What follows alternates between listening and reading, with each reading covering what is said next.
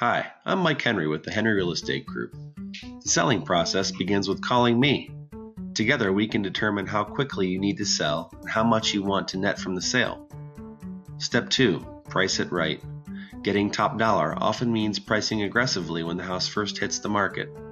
Step 3 Stage the house, because you never get a second chance to make a first impression. Step 4 Negotiate the offer. And step 5 Move out. The last step is the closing. That's when you receive the proceeds from the sale. If you're thinking about selling, don't wait. Contact me today at 216 973 1402.